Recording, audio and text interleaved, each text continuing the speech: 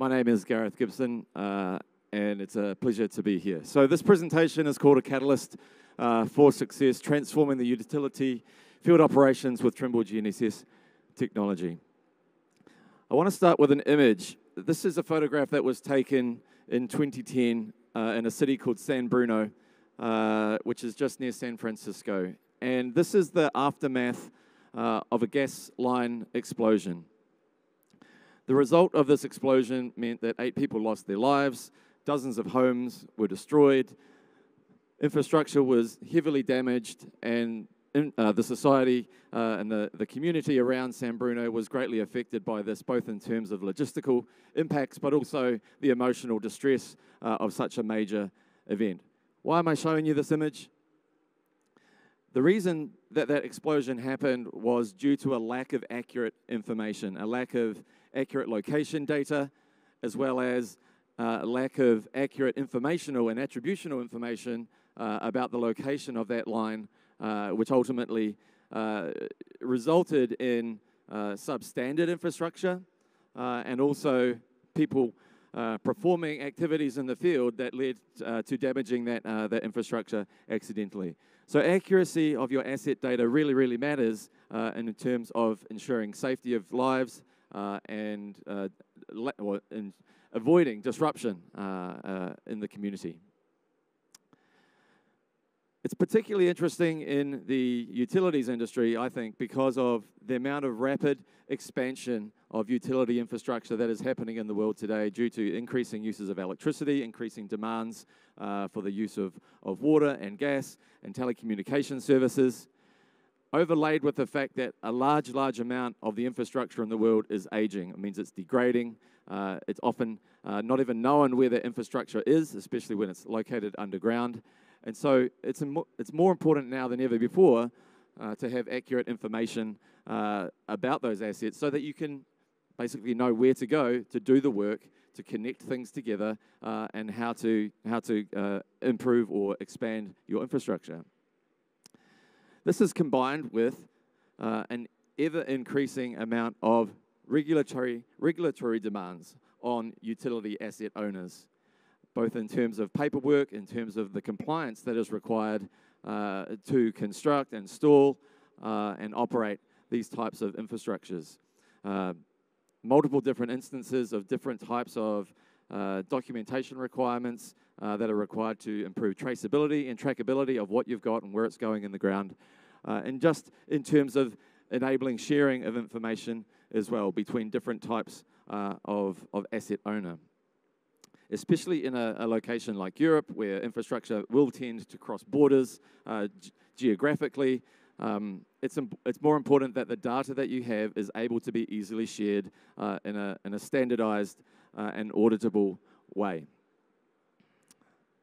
This is all leading to somewhat of a digital transformation in the industry. 10 to 15 years ago, it was not uncommon for all asset infrastructure to be uh, constructed in the field, leveraging and relying on paper maps, uh, which ultimately meant that there was a lack of information, a lack of data uh, about what was being built and where it was going.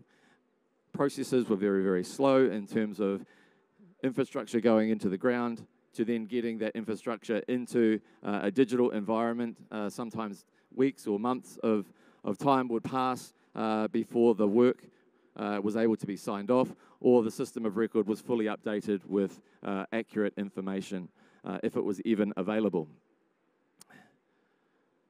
And so how is that now happening? Basically, widespread adoption of different types of geospatial technology has become the norm in the utility sector. Whether you are a contractor, whether you are an owner, I think everybody is now relying on geospatial capabilities uh, to assist with the, the mapping of assets, uh, the construction of assets, using digital technologies to assist with the planning uh, of new infrastructure, as well as the ongoing operation and maintenance of those assets. And that begins with getting high accuracy information as those assets are constructed or in that initial phase of planning and doing the design. Software technology, GNSS technology, uh, mobile scanning technology, as you've seen from some of the presentations earlier, all exist and are all heavily used in the industry. However, it's not always that simple. You can't just deploy technology to the field because some of this uh, type of technology is complicated. Uh, it's the, the increasing demand for high quality data often, re often requires specialized skills and knowledge and capabilities to use, uh, to use that technology. Because of that uh, high demand for skills and the lack of relative lack of demand of uh, expertise, uh, you end up with bottlenecks for resources uh, for those engineers and survey types to go out and take it uh, and do the data capture work. The increasing requirement around regulatory information is also making things more complex. The risks associated with getting that wrong are also more challenging. And basically, it, it leads to higher costs overall of actually doing the work and putting infrastructure in the ground. And so there has to be an easier way. The increase in effort and time uh, is impacting costs, adding more liabilities, and basically leads to even more delays and public disruptions when things take longer to do in the first place. What Trimble uh, has done and, and what we've tried to do with the product, which I'm about to talk about, is to try and solve these problems by democratizing access to high accuracy information in the field. We believe that uh, access to RTK technology should not just be the domain of the surveyor or the engineer, and in fact, anybody who is performing field work should have access to high accurate, highly accurate tools uh, and workflows uh, in a way that is simple easy, and affordable, and able to be rapidly deployed across a large number of users. So we wanted to simplify GNSS technology for non-experts. We didn't need, we didn't want it to be just the domain of the surveyor or the geospatial professional. We wanted to make it affordable enough to be used in almost any workflow that requires precise positioning. So whether you are a contractor who would normally be digging, uh, digging with a spade or using a digger, uh, or whether you're a golf course designer, whether you're you know, any other form of person working in the field with physical objects where accuracy could be valuable to you, we wanted to make it accessible. We wanted to make a tool that was flexible enough to meet the needs of every user. You shouldn't have to pay uh, for the highest level of accuracy if that's not the level of accuracy you need. You should be able to pay for a lower level of accuracy and, and, and, and easily scale that solution. We wanted something that was small and light enough to fit everywhere, something that you could fit in the glove box of your vehicle, keep in your tool belt, uh, we wanted something that was scalable enough to work for individuals as well as entire companies. So we know that there's a large number of organizations out there that are individual operators. There are also many, many large companies with hundreds and hundreds of field staff. It's not typically going to be practical to deploy a high-end RTK GNSS system to an entire field workforce uh, at the price points that these types of devices normally command. But we also wanted to create a solution without compromising performance. It needed to have the precision, the productivity, and the speed of operation of a very high-end GNSS solution. And this is the product that we have released into the market, and we are seeing interesting results and adoption of GNSS technology by a completely different audience of users uh, than we've had before. And this is a product called Catalyst, uh, and this is the DA2 GNSS antenna for the Catalyst service. So, the DA2 GNSS receiver is an extremely low-cost piece of hardware and it's extremely lightweight, less than 300 euros for a digital GNSS antenna and receiver. It relies on and is uh, enabled by a service, a Catalyst service. So this is pay for precision. You simply subscribe to the service to get the accuracy that you need everything uh, that is required to achieve accuracy with this product comes as part of the service. So a fully integrated uh, GNSS antenna and receiver combined with a very low cost and easy to manage subscription where you dial the accuracy that you require from one centimeter to 60 centimeters and all of the correction services come as part of that service. There's no more configuration required. It's just a tell me what accuracy you need, and we will deliver that for you uh, as needed, online or offline.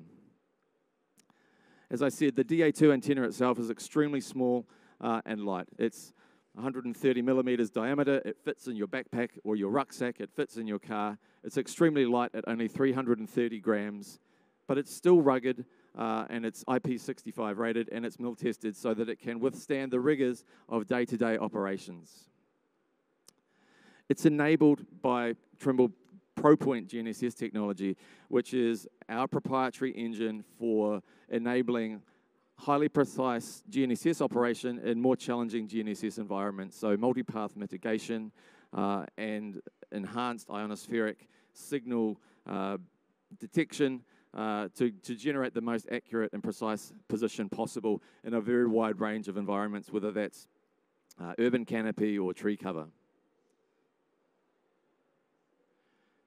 One of the main enabling technologies of Catalyst is a service called the Trimble Corrections Hub. Trimble has a worldwide uh, correction service called Trimble RTX. We also have a range of uh, uh VRS uh, installations around the world. The Trimble Corrections Hub is able to determine uh, where the user is in the world and then apply a, a GNSS correction to the receiver uh, as best suits uh, the user's requirements and the accuracy that they have subscribed to. It also enables uh, a very flexible transformation of uh, coordinate systems and, and integrates uh, the corrected signal very simply and easily into the workflow application that you're using, whether that's a Trimble application or a third-party application from one of our business partners like ESRI, uh, or many, many others who are also leveraging and integrating Catalyst technology into their solutions.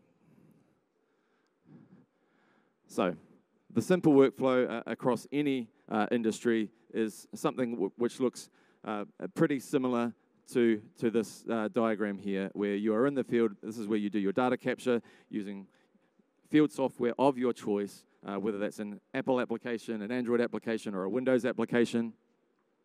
Once that data is collected, you can process that data and extract the real deliverables that you need uh, in the office. You can transfer data from the field to the office through the cloud or through offline uh, processes as required, and then extracting and delivering that information into the system of record, whether that's an asset management system, a risk assessment tool, or a project management tool, depending on where you are in your asset lifecycle. Uh, there's many, many different ways that this technology uh, can and is being used. So we have a simple, precise, centimeter accurate GNSS uh, antenna compatible with all sorts of applications and delivering on all of those things that I described that we were trying to achieve simplicity, ease of access, ease of use, affordability, uh, and uh, scalability across teams of any size. I want to give a couple of examples of how uh, Catalyst is enabling transformation uh, of field workflows and field workforces uh, in the utilities industry. So, People's Natural Gas is in Pennsylvania, Kentucky, and West Virginia in the United States. They're a, a typical gas utility uh, provider, uh, and they're responsible for oh, hundreds and hundreds of, of miles of, uh, of gas line in those, in those areas.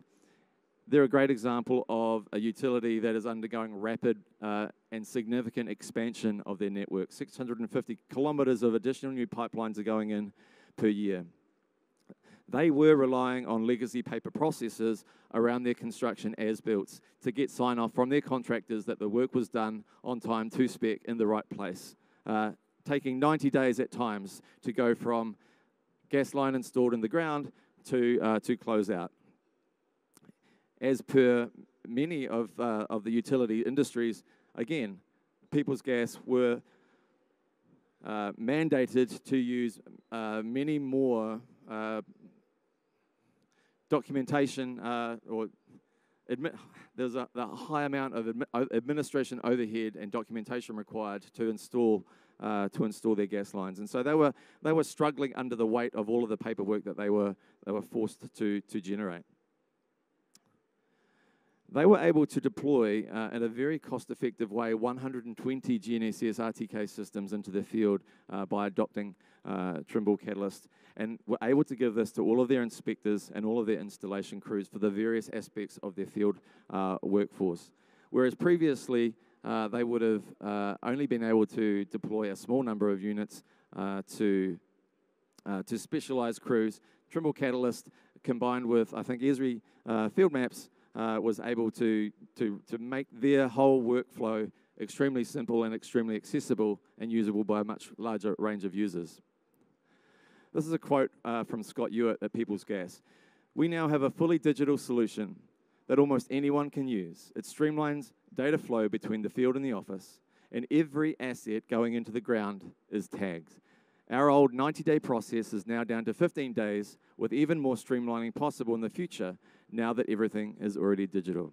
This is a quote uh, from Scott and is very typical of the types of results that these types of organizations can see by deploying GNSS technology en masse uh, to large numbers of users.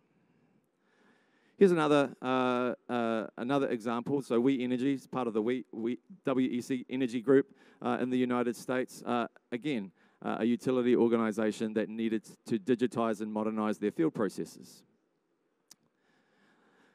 They're expanding their fleet of workers. So they were already users of technology, but they were using a, a legacy system uh, from the early 2000s.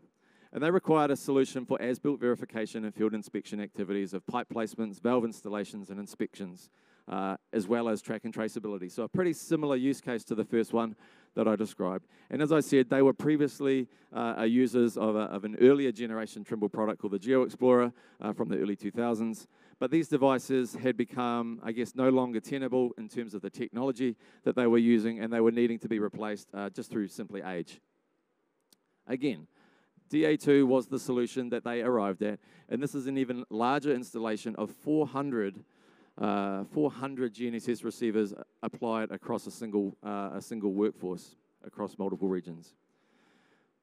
Trimble Catalyst has enabled rapid deployment across a wide geographical area for We Energies. Because the system works seamlessly with their current software, it's enabled more direct integration with their database and system of record uh, than the legacy platform that, that, that has been replaced. So again, modernizing the technology and making it available to an even broader range of users is all about increasing the productivity, the profitability, uh, and improving the service that these types of organizations can provide uh, to their stakeholders and citizens. So there we have it. That is the Trimble uh, Catalyst uh, solution, uh, trying to achieve everything that we see on the, on the, on the slide here uh, rapid to deploy, easy to understand, integrates uh, with almost any software workflow and system, scalable and flexible, uh, and usable from anything from an hour at a time to a month at a time to a year at a time. So many, many different uh, subscription-based options for paying for what you need. A $300 antenna uh, and a $10 an hour service, for example, uh, can put RTK level precision in the hands of hundreds of users uh, in minutes